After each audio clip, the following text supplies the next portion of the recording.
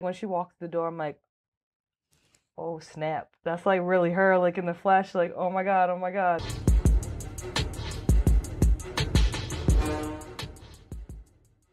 Six times two weight boxing champion, activist, and actress. Kali Reis. Currently starring in HBO series True Detective Night Country. Uh, first Native American co lead in a HBO Max series. Congratulations. Yeah. Thank you. I didn't even I didn't even realize that. I'm just kind of, you know, chopping wood and carrying water and people are telling me I'm like, "Oh, really? Oh, didn't notice that." Well, yeah, thank you. Keeping your feet on the ground then doing the chopping of the wood. I am. I got to, man, especially right now. It's always been my go-to, but like it's uh very very prominent now as well. Actually, uh, it's not co-lead because apparently it's uh, they've given you another title. Let me know what that is. The lead, the lead, lead, the other lead, the other lead, I guess. well, to be fair, the narrative really is about you, isn't it? It is about Navarro, and it's you know, uh, Jodie Foster, Jodie Foster. She um is so adamant about making sure that she says that. And she's, she's so supportive on saying you know danvers her character is really supporting the journey of, of my character which is navarro which is a beautiful thing because you know i'm just like you know there's two characters but once you really get to the end of this story you can kind of see it's really around her story and her journey meaning navarro. So uh, when you talk about jodie because obviously now you're friends. We're talking about uh, Ms. Jodie Foster, two-time uh, Oscar winner. Uh, early work, I think she was in Taxi Driver, Bugsy Malone. Uh, most people will probably know from Silence of the Lamb, but um, The Accused, yeah, she has a rap sheet like it's insane. Quality. Quality, quality actress. Um, um, you play, uh, is it Evangeline Navarro? Uh, can you give me a brief synopsis of the series? So, True Detective is an anthology series, and we're on the fourth season.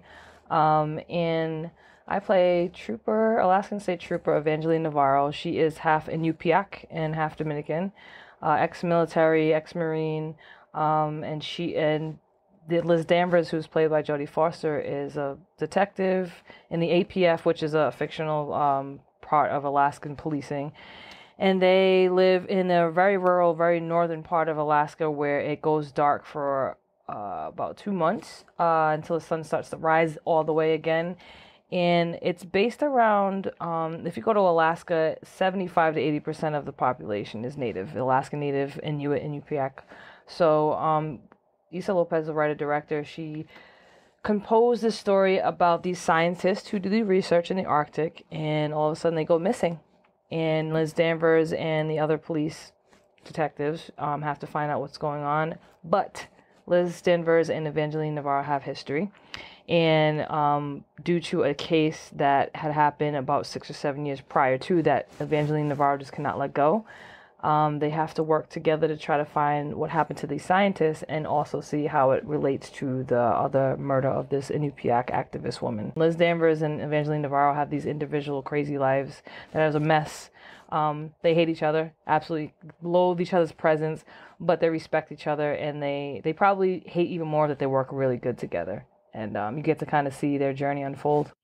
A little bit like uh, when promoters in boxing have to work together and they hate each other. yes. Yep. Oh boy. Just like that. All for the greater good. All for the greater good. Maybe they probably despise each other's faces, but they're going to smile and nod and shake the babies and kiss the hands and make the business work.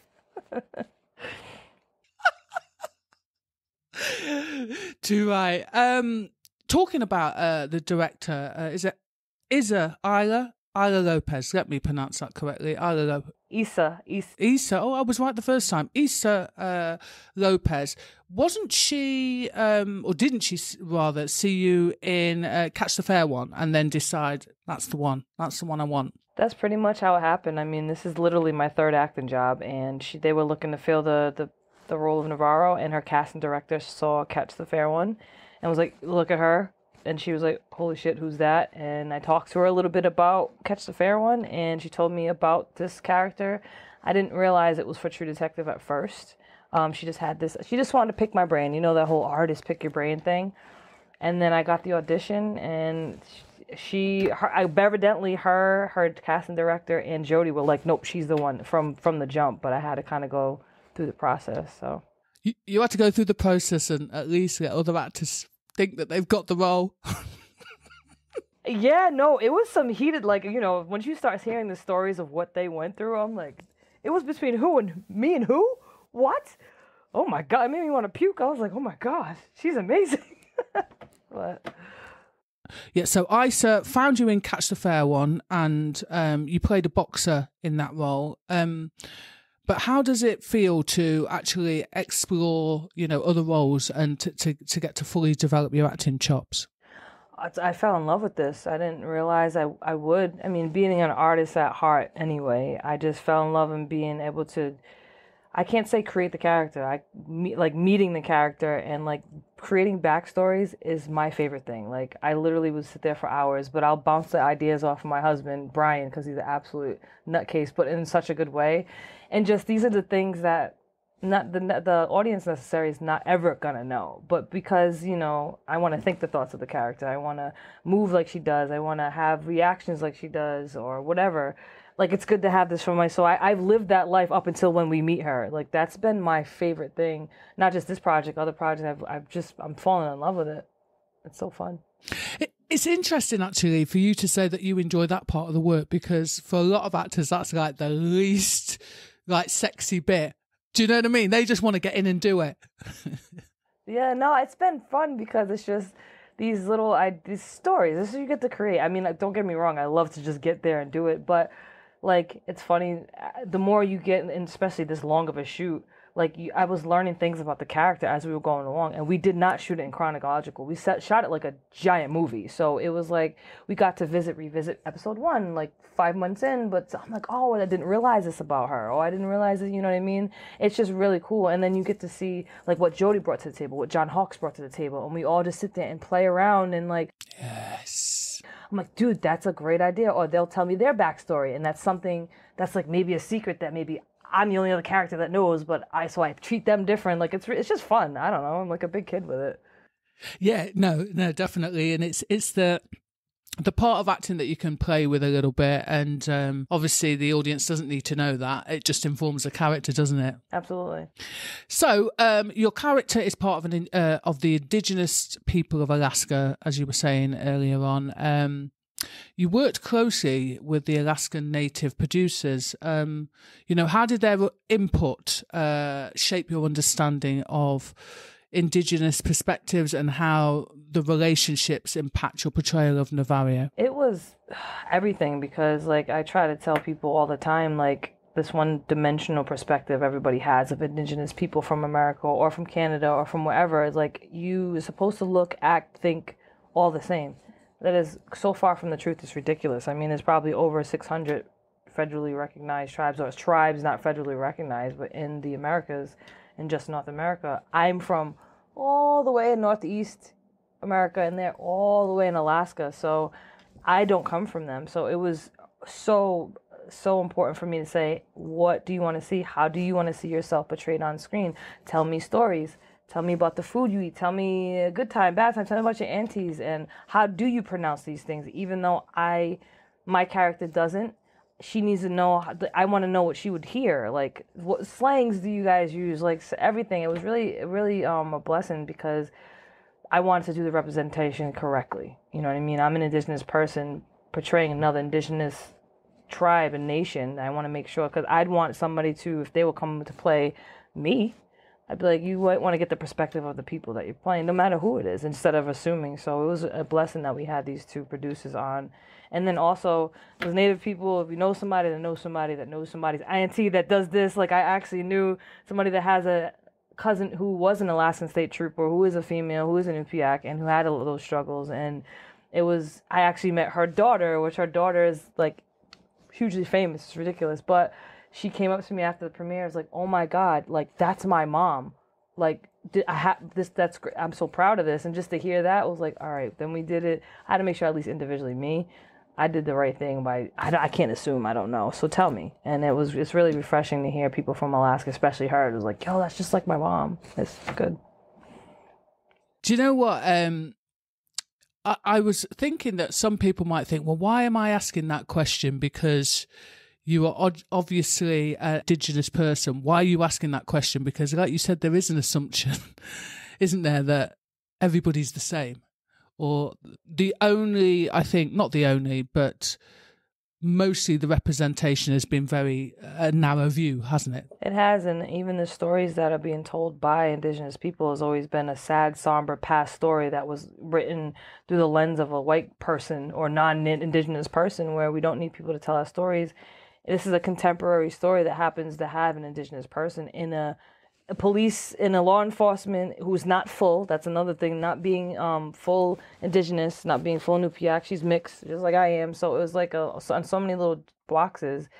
It was awesome to be able to broaden that that view of where indigenous people are supposed to be in film and art, especially right now too booming. I mean, Lily Gladstone just won a Golden Globe. She just got nominated for an Oscar. There's Rez Dogs that came out. There's so many. There's Echo. There's so many. Like right now to be in the middle of that, I'm like, oh, it's popping. Like we here. So it's really, it's really amazing time. I'm, I'm loving, uh, yeah, all the representation that is. Uh starting to happen in not just for for you guys uh, but also i'm seeing uh, asian a lot of asian uh, actors now as well um, so yeah, it's uh, still somewhere to go, but a little bit, but we're making one foot in front of the other. I was going to ask you because obviously we both know the uh, the importance of representation on screen. Um, you know, how do you think that your role in Night Country contributes to changing perceptions and um, increasing visibility for Indigenous people and women in the entertainment industry? Women for sure because you have these two women in this very male dominated job. I mean they're police officers in this very remote place and there was arguments about oh it's such a feminist show. I'm like because it's two female detectives does not mean it's a feminist thing. There's men are represented but if you look at the contrast from the first season it was very misogynistic male dominated perspective. Now we have a female perspective but there's still police officers in this male dominated world. I think it's a good contrast because as a female as a woman we can identify with the victims with the crimes a little different. We might have a little bit of a different view on it. Um, so i like that about this particular project but I just think Navarro in a whole, number one, we have this remote place in Alaska that we don't really get to see. We have somebody who's of mixed heritage, mixed race that doesn't really know what to fit. We have a female trooper that has these, she's not, she didn't go to Yale and she has her things hap, uh, together and she just happens to be not white. She just has, she, she's been through some shit.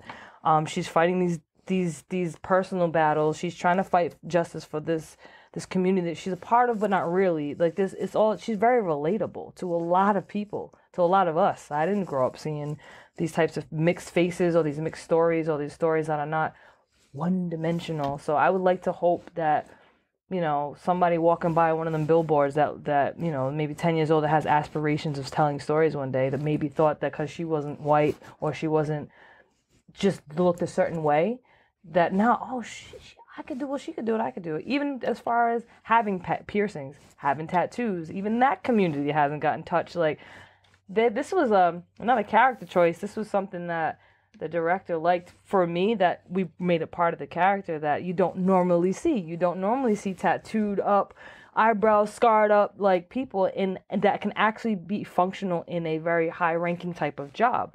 Like it doesn't matter what you look like. You still have the, the soul and the brain to do these jobs. I hope even on that aspect and that perspective I can shed some light on that. I've had people peers and people like, I ran by your, your billboard. I'm so happy to see somebody with piercings and I'm like, Really? so it's kinda cool. Can I ask you a question? Why?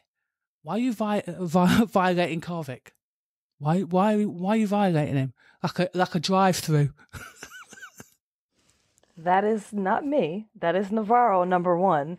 Um, Navarro has her reasons. If you pay attention to it, that, the her her relationships with everybody, Qavvik included, kind of explain her her what what she what's going on in her head, um, and what her certain outlets are, um, if she has any, uh, and Qavvik being one of them. Qavvik just wants to love Navarro, and and Navarro's kind of like um how do I explain this? It's like when you have like a, a dog has a or a little kid has a toy, and they're like, "All right, don't touch it, but I'm gonna come to there to you, but no, wait, no, I'm gonna nope, not but you don't move, but I'm gonna." It's like one of those things where she can kind of, he's a safe place for her, and he doesn't expect anything from her. He takes her his time with her, and he's just like, "I'm gonna let her do her, and if she comes to talk to me, great. If she doesn't, I'm not gonna even press her for it."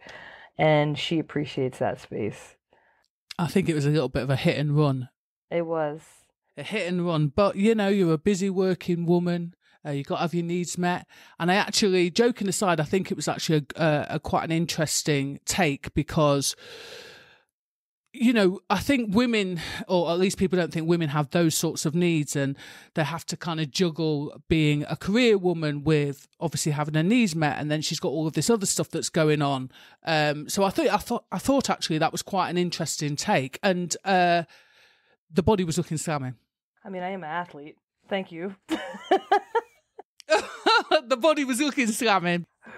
Thank you, thank you, thank you. Now, but it was when I um, cause that was you know especially so nuanced in my career, personally wise and like career wise. There was a lot of choices I had to make for my own, my own morals. You know what I mean? Um, my own respect for myself, respect, marriage respect.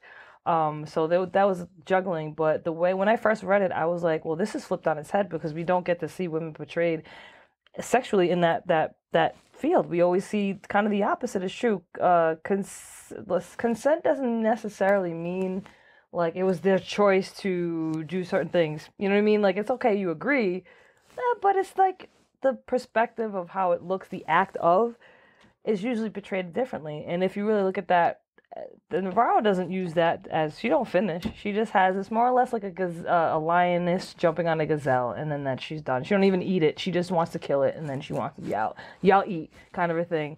So it's a, it was a very interesting way she painted it. I was appreciative of it, and um, I'm proud that I was able to personally um, have my morals and my needs and my comfortable level to be met because that was weird were you asked you know how far or were you just off the jump like this is my this is my level and this i'm not willing to dip my pinky toe further pretty much um because that was something that was like oh we're doing oh this is love this character love this whole story but that's something that especially being so new and being a uh from an outsider like just a regular person that doesn't know how those things are done have an intimacy coach very thorough um there was immediately what is your comfort level? I'm like i know the story that needs to be told and i know where my comfort level is. So let's meet in the middle and every every need was met. Um, i was taken uh, very seriously.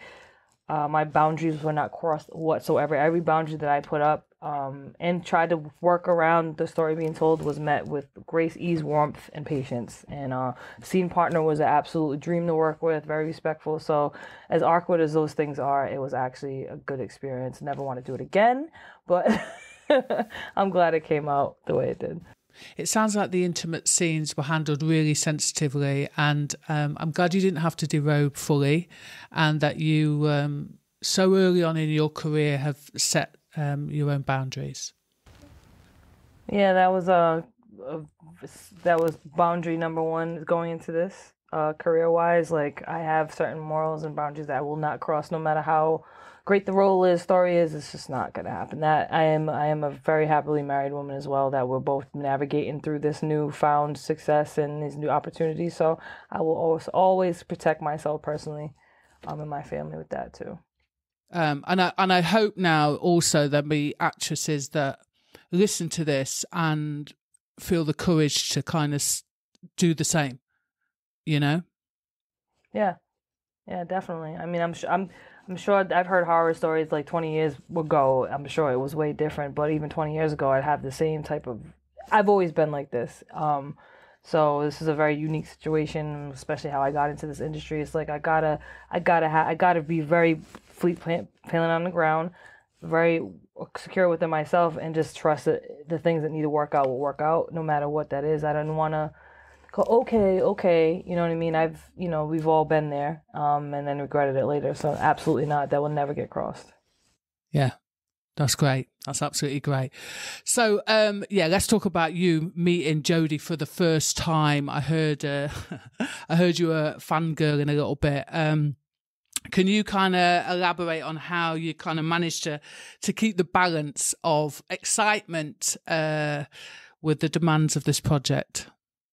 Boxing has trained me well, man. Don't let the judges see you tired. I'll tell you, I said that on the podcast earlier this week, like legit, like, oh, don't let them know that that was a good shot. You know what I mean? It was, uh, you know, ring generalship really put into real life. That's what it was. Um, it's funny because going through my movies that I actually like grew up watching and loved, a lot of them are Jodie Foster movies, and I didn't realize that until I'm like, oh my god, I'm gonna meet Jodie Foster. Oh my god, I'm working with Jodie Foster. Holy shit! So when she walked through the room, we had our very first table uh, re- rehearsal, and she walked through the room. Mind you, she's like five two. She's so little. She's a little bit, but big personality. She, I was just like when she walked through the door, I'm like, oh snap. That's like really her like in the flesh like oh my god oh my god. But i had to give her like oh it's so nice to meet you really calm and it was cool but she was so like nice open warm uh funny. So it was one of those things where like i never really the only other fangirl moment i had was when i met mike tyson and i was like oh can i take a picture? That was i couldn't hold that in But uh, she was amazing. She's a really cool person. So it was, but it was funny. I'm like, if anybody can hear my inner dialogue right now, it's uh, I'm like, oh my god, three pointer. Sounds so stupid. I guess it is a little bit like a weigh-in, isn't it? You know that moment when everybody has that poker face. Oh, I had a poker face. I mean, I was like Texas Hold'em when she walked in. I'm like, mm-hmm, yeah, how you doing? Who are you? Oh, oh, oh, yeah. Yeah, yeah. Yeah, yeah, I think I've seen some of your work. really? Really, though? yep. so, um, were you able to sort of pick her brain a little bit? Um, did she mentor you, or did she, uh, you know, give you a few tips? Not in a kind of annoying giving notes to other actors kind of way, uh, but yeah, were you able to sort of glean tips and tricks and yeah, I mean through the whole through the whole pro- just even just watching her work, like watching again, I'm gonna use Mike Tyson. Like it was like being invited to to work and train alongside Mike Tyson in like '86 in the best camp. Like it was like, oh my God, this woman has done this since she was three years old. To see how she had even the way she had like when we had the paper scripts because after a couple of rewrites i was all up in my ipad i'm like i don't need an ipad i like old school pages i'm like fuck that but she had like her sticky notes and the way she was moving and, and the questions she asked Issa and even her directorial eye was she was bringing things for the story perspective directorially and then what she brought to uh, the table with Danvers. Um, even I would pick her brain on set like what the fuck does MOS mean? Like again, I'm so new to this. I'm like, what does that mean? And she would be laughing like, oh, it means this, but she would give me advice un- not unsolicited it would be advice but not it, she, i don't think she realized what she was doing like she we were just having a conversation about things.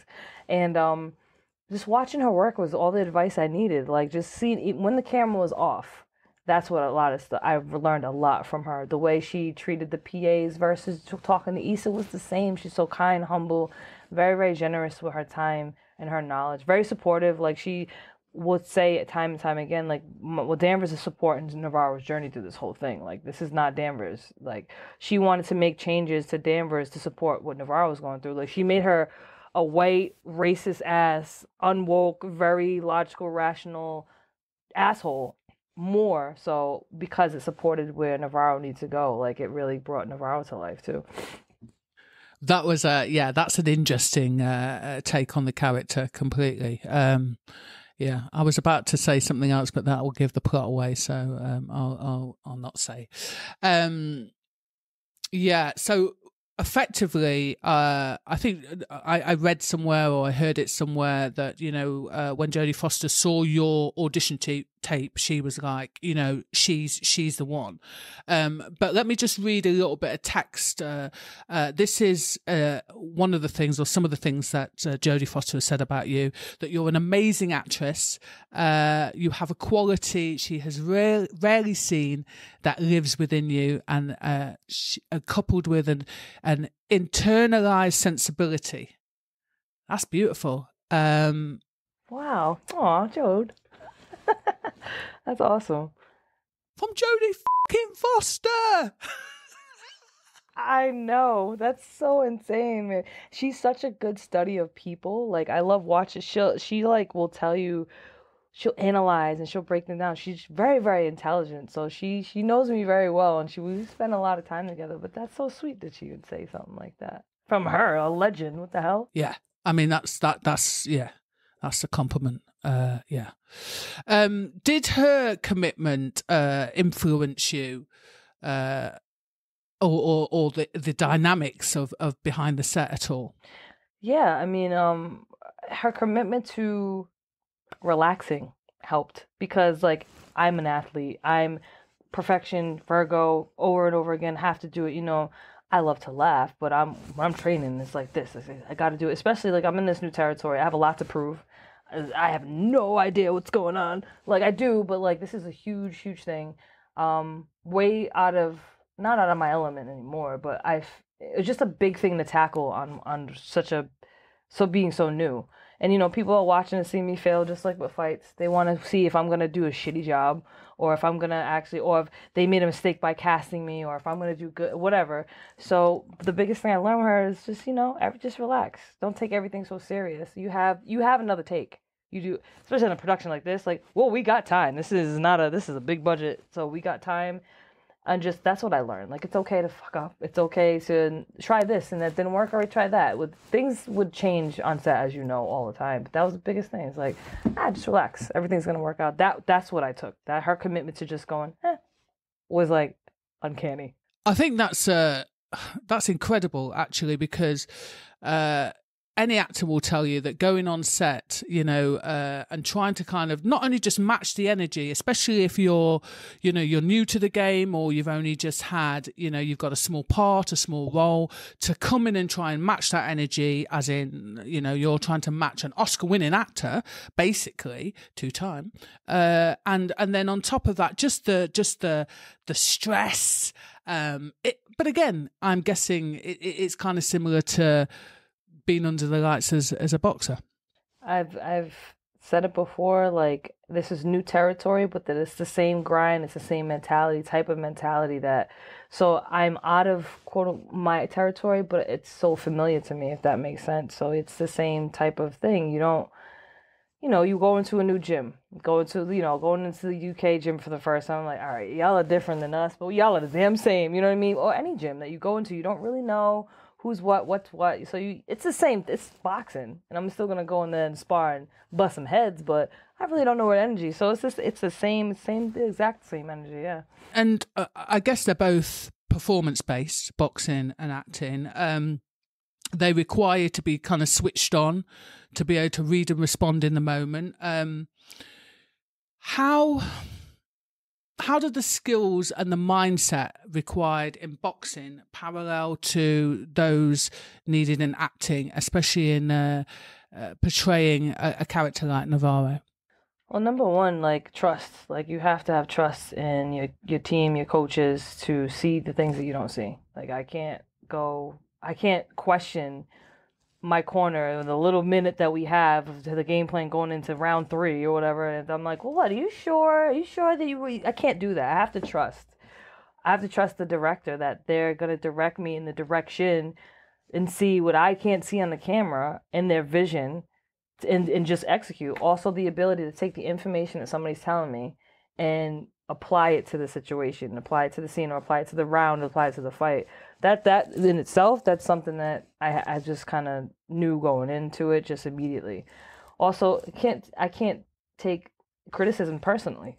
At tough skin, like people coming for me, especially like that's what I'm like. You guys got to come a little harder than that. I've been in boxing for over 20 years, like no, but I can't take anything personally and then be like all offended by it. Like you telling me I got my ass whooped that round. You're doing it to tell me I got my ass whooped that round and I need to keep my hands up because you're getting caught with the right hand. If that takes suck because you're not you missed the line of this or you're it's just not matching. I need I don't want to be wow he's an asshole. It's just not gonna work for anybody. The goal is to win the fight in boxing. The goal is to get the best out of each performer in, in this performance in the scene in there. So I can't take it personally. The fact that the repetition Repetition, repetition, repetition, repetition. It doesn't matter how many times, just do it more time. One more time. And always the one more time, the one last round, the one last mile is always the one that is going to change the game. Like my last takes at the hour 13 is probably the best takes. You know what I mean? I'm like, oh God, another setup. You know, it's one of those things that, to be able to just keep trusting the process and the, be, the ability to be present. Like I can hit the bag for, I don't know, a hundred thousand hours. I can do the pads. I can do the super made with pads. I can do all, all the shit. I can read my lines, read them with a hundred different people. I can read it with Jodie. But until that camera goes on, until that bell rings, the bell rings, you got to be in the moment. Because I could practice, but if somebody's not standing right there for my one two that I worked on for six months, and they move and they do something else, and all I did was that, and I go, well, that's all I'm doing. I have to adjust. I have to be. I have to be able to analyze what's going on and react off of it like that. So the same thing with what in the scene is like I can rehearse these lines, but if this actor comes out guns a blazing and I got to react off that because we're doing a take where we're trying something new and I just want to stick to my lines and stick to it. It's just not going to work. So you have to be very, very present. So there's just so many things I found parallel. It's interesting because you're very new to the game, but the fact that you have recognized that because there are um, some actors that my acting coach used to call vacuum flask actors that they don't take into consideration anything that's going on opposite them. They know how they've rehearsed it, they know what they're going to say, and everybody else. Do you know what I mean? Yeah, and you can tell those. Even watching one as a fan, as a viewer, I can tell the person just practiced that line that way 80 times in the mirror and they didn't care what was the other person. It's like those are the best like improv. I love I freaking love improv. I love doing improv because you get real time reactions and you got to come come quick with it. So yeah, I appreciate I just appreciate that, especially as a as a fan of just art and film and stuff. So, what about uh, the the similarities or differences in your mental and physical preparation uh, for these two different professions? You know, were there any? Yeah, so with boxing, I mean, it's a job. You, I have to, even if I don't, you know, I want to take a week off in the middle of camp, unless I'm sick. Even with that, like you can't because that's your job. You physically have to do your job. Um, but boxing is very mental. You can physically do your job, but be mentally fucked, and that physicality is not going to hold over in round six, seven, or eight when you're just like, mind's not there. You can't be present, or you can't take the direction, or you can't hear anything. You can't use your own ring IQ. It doesn't matter. You can be, you can have abs, washboard abs. I've seen people who look out of shape but are mentally there and destroy the person who got all these muscles. I've seen it. You can tell the difference mentally.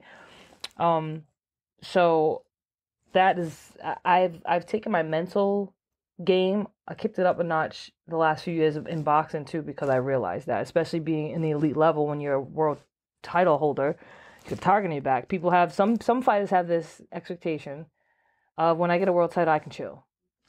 That's wrong. If you're chasing a world title, just know this. It's not that's not the time to relax. That's when the real work starts. You have to work twice, three times as hard because everybody wants what you got. It's not you can relax and just post all these stupid Instagram videos of you hitting the bag 15 seconds. Like you got to do more work. The, when the camera's off and when people ain't around, that's when work really matters because you got a target on your back. I've always known that, and I've, that's always what I wanted. Put that target on my back. I can handle it. Now with uh, film, with this, I knew the character was very physical. I knew my athleticism was going to be a real asset to it, but I also didn't want to be one of those actors that you stick a gun in my hand and I don't say no lines, but I look tough, but I can't say anything. You know what I mean? I didn't want to do that because I've seen that happen too. Not saying any names, but I've seen that happen. It's like you have to do, you got to do a little bit more work than hold a gun and, and look mean. Like, also, with film, I've learned that it's not what you physically say, it's what you tell the audience without saying a word. So, like, just knowing how, understanding my character and what she thinks and what she does. I've picked up know, little experience that I've had, always had like a tick or something that my character does that separates myself from them. So I know that they're doing this is Navarro, not Kali. But I use boxing and working out as my grounding for when I'm acting. Like I'm in, no matter what, I will work out before and or after. If I miss a day, I'll at least sit in the sauna or do something at home. Even if I only got five hours of sleep, I have to do something to ground myself physically in my body back as Kali again. So I use that um, working out. And I I did I I boxed I did boxing training a bit, but I I really stepped back from boxing. I needed to um, physically, mentally, everything. Um, so while I was while I was shooting, I was there was there's actually a, a good little boxing scene in Iceland. Um, but I was training to ground myself back to myself, um, and mentally relaxing, resting. Again, sitting and doing things that Kali would do to separate myself from Navarro, because Navarro is a very deep, deep, dark, layered character. It's interesting because, uh, like I say, your insight into just the the actor's needs or the needs of an actor in terms of um, you, there are a lot of people I think that think that actors just learn lines, uh, you know, have a few rehearsals and go, and that's it. I don't think they recognize the actual the work, the deep work that goes into it. Have you um have you experienced that? Yes, I have. Um, I get you know, even with boxing, it was like, oh, that's cool. You get to travel the world and go like, oh, you're such in good shape. You look great. And I'm like, do you have any idea how much work this is? Like, oh, I wish I could just. But also, I'm getting smashed in the head. yes, I'm like, you want to trade jobs? Not really, but like at this say, oh, oh, it's you. I wish I had a body like you. I wish I could be healthy like you. I'm like, everybody got the same 24 hours in a day. Like, I just choose to use mine a little different. So, with this, it's like, oh, that's so dope. You got cast with Jodie Foster. It must be like you're acting. It must. Oh, you live in Big Willie style now. I'm like, you know how much work this shit is. Like, it's so much work. It's it's hustle. Like the men, the like what me too. Like my ability again to kind of go back to the question to put myself 100% 110 all the way in. With boxing like and i don't just i'm not just saying this this is a legit oh, oh thought that's going through my head especially my last fight. Well i'm willing to die in here and i mean that with every fiber of my being like i'm willing to die in that ring. Like i put my all into fighting and I put my all into everything I do. I don't care if I'm tying my damn shoes. Like I'm gonna be very intentional tying my shoes. Precise. God damn it. Um, so the ability to check all the way in when that bell rings and become who I need to become in that ring, and then check all the way out when it. I'm like, you see me, I'm like chill, like mad chill when the bell doesn't ring. Same thing to do with um, with acting is for people that understand, like, oh, oh, when you did this, you know, I'm like, it's not me, it's Navarro. Like I legit like would have my own like my piercings for instance like my other piercings i would take them out specifically at a certain time so i'd be like all right kali go have a seat. This is navarro. I have to embody this person this other person completely. Think like them talk like them walk like them everything. Even my tone of voice is different. Like it's so much work to really understand that so you can be convincing. Like i have to convince you that i'm navarro not kali. Like it's weird for my family of course. I get it. Everybody who knows me it's kind of cool and weird at the same time. But I've experienced people. Oh, that's so lucky. You get to live in Iceland for and do. That. I'm like, I ain't got it. I had a day off, and it's like twelve hour days, bro. Like in the middle of the night, negative fifteen. Like this shit's hard. It's work. This you need stamina. You need to be healthy. You know, much like a boxer. Do you know what I mean? It's like you go, you rehearse, you learn lines, you go home, you sleep, repeat Do you know what I'm saying? Um, but what I wanted to ask you about actually, what was it like in in Iceland? Uh, I think you lived lived there for seven months. Did you not? You know that must have presented some challenges in itself. And um, you know, how did you uh, cope with the extreme weather? And you know, how did that influence your you know your portrayal of your character, Navarro? The weather uh, and the place that we, we we shot in Iceland and it was it's taking place in Alaska. We they um did a lot of research for a lot of months in Alaska to actually understand what they needed to build in Iceland.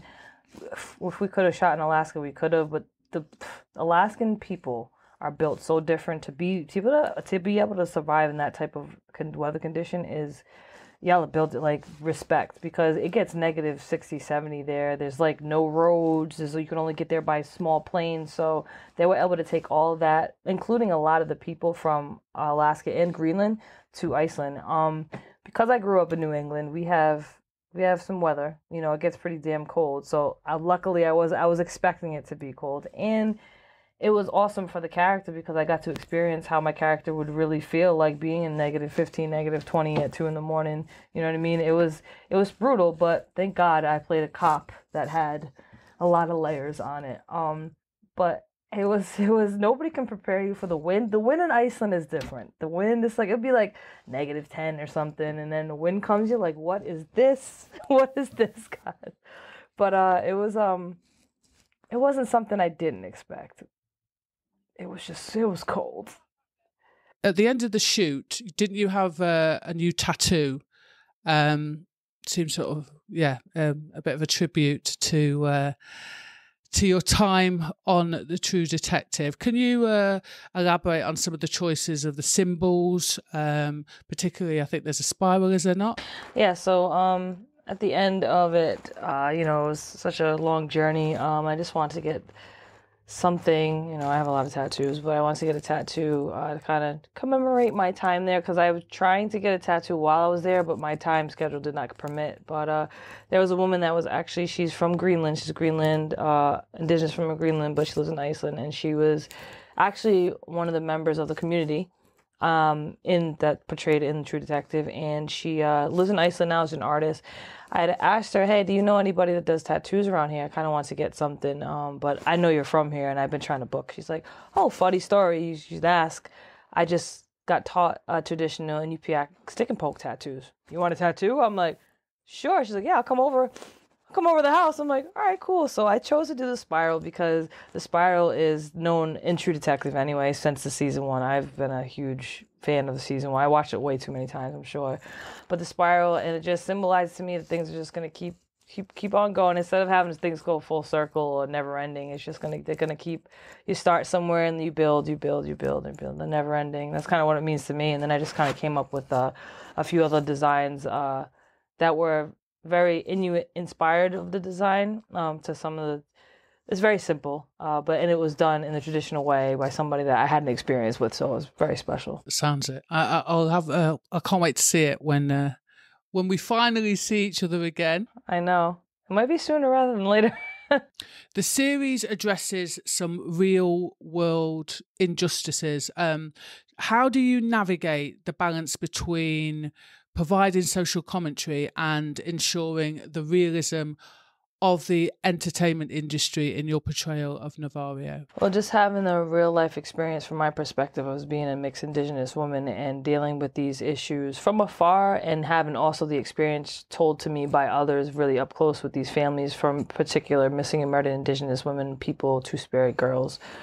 Um, so just knowing that I have that shared insatiable just drive and like have to find truth and justice or do what I can my part and whatever that part is, whether it's portraying somebody, whether it's telling a story, whether it's putting MMIW on my boxing shorts or just having a discussion with people in front of people that don't know about it.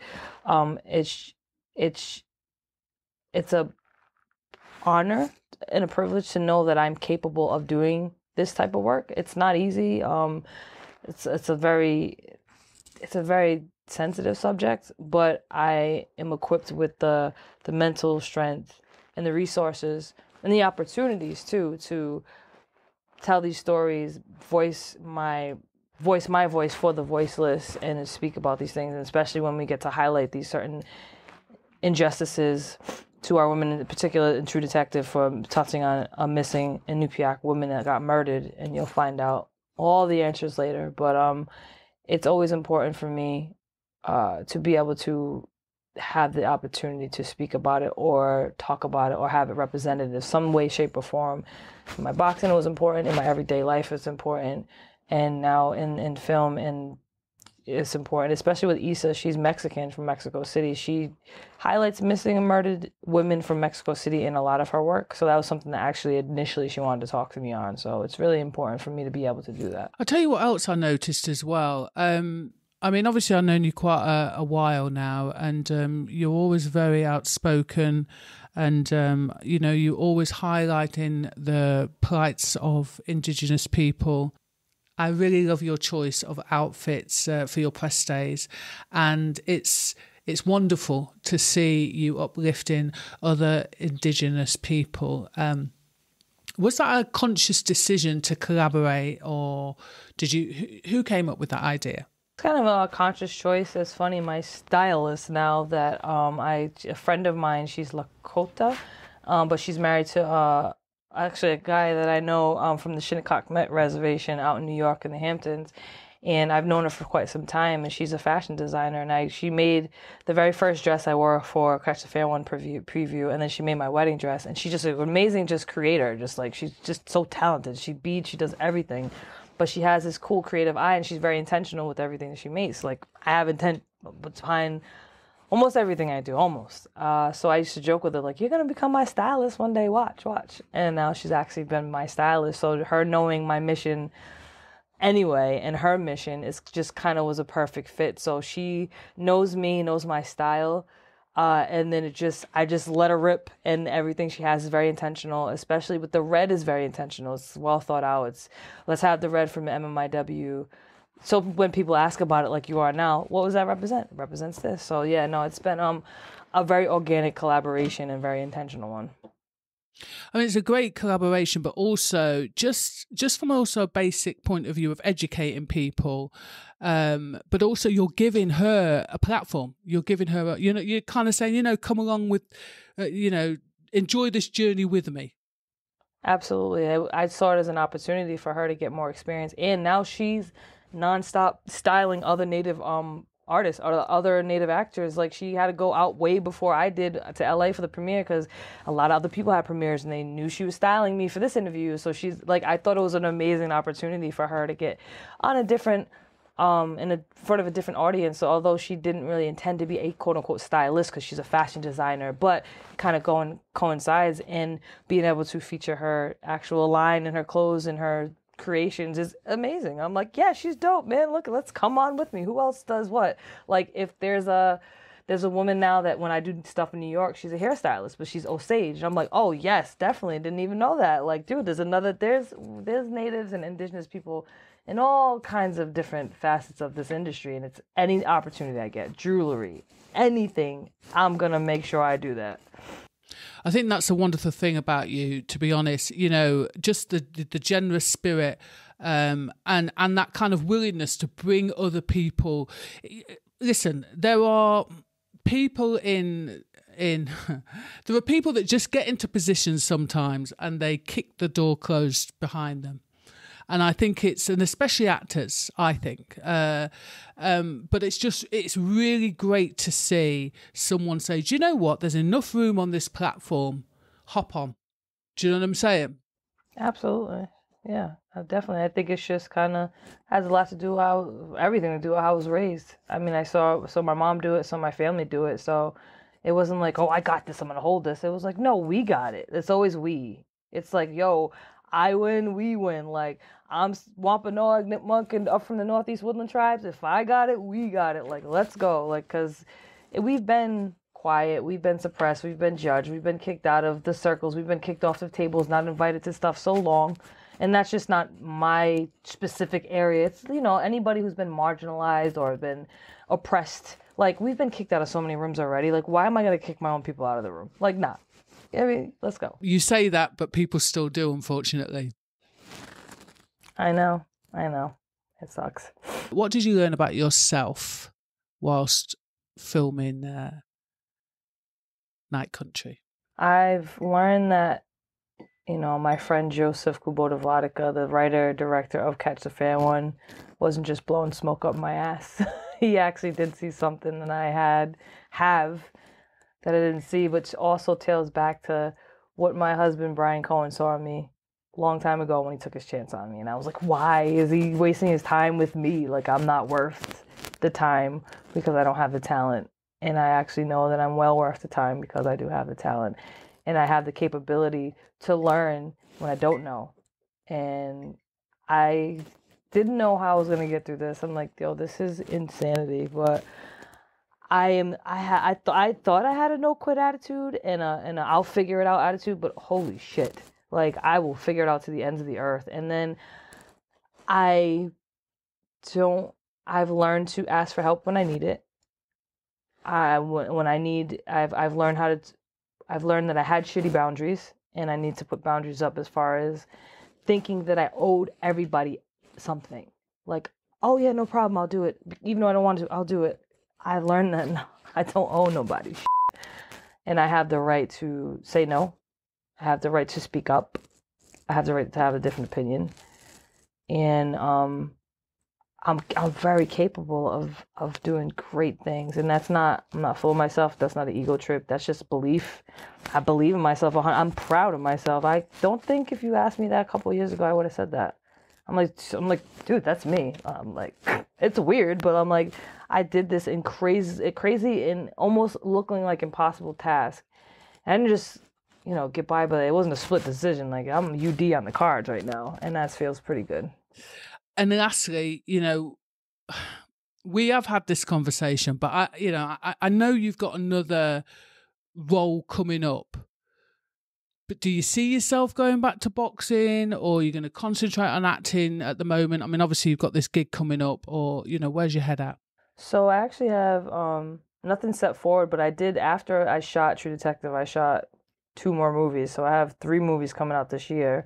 I think maybe the other one was later, so it might be in the film festival circuit this year. I'm not sure, but I didn't hang them up yet. I haven't officially hung them up yet. As fighters, we don't know how to quit, and I want to fight again. I will fight again. Um, I have this blessing in front of me uh, to have this other career that's flourishing and hitting the ground running. So, you know, just figuring out how to capitalize on certain things, how to move uh, correctly. And first and foremost, my health. The reason why I couldn't even do what I wanted to do after my last fight anyway. Um, this, this hiatus, this break has done some wonders for me. I'm still in the same boat as far as health wise, but we have a lot more answers and things are going forward. So, do I want to fight? Absolutely. Will I fight again? Yes. Who will I fight? Let's put it this way. Um, I've had some conversations as of recent. I haven't, Brian has, and I don't do subtle. If I'm gonna come in, I'm not gonna have a six round tune up fight. Just put it that way. So if if and when I come back, I'm gonna go. I'm gonna go for broke. Just put it that way. So that's what I that's what I want to do. Like I, you guys will see me back in there again. Um, am I happy with where my boxing career got me. What where it got me, the goods, the bads, in between. I absolutely love my career. Um, where it ended, um, two years ago, my last fight, health wise, holy shit. Um, but like legacy wise, yo, you know what I mean? It's great. Do I have to fight again? No. Do I want to? Yes. Is it great to be at? Okay, when you coming back? Versus you think you should hang it up now because you know what I mean? I'm kind of because we know we've seen people overstay their welcome, and I've seen people having these conversations about these fighters like, "Yo, I wish you would just retire." I'm not in those conversations at all. I'm in the okay, when you coming back? And it's like, wow, that's dope. So I don't. I have people have to remind me I don't owe boxing shit. Uh, like I've given my I've given a lot to it, and very happily so.